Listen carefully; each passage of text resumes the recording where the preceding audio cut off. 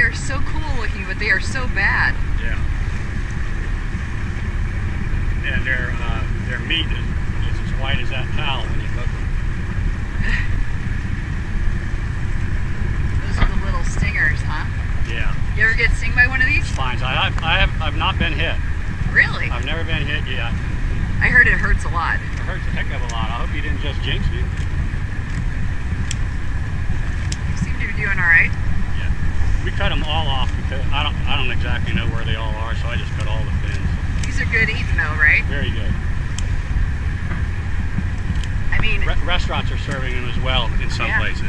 that that one lionfish is just it's consuming a ton of other fish. Oh yeah. I They, mean, uh, a, like a big guy like that. And I heard they I heard they spawn upwards of three times a month. Yeah. So that's not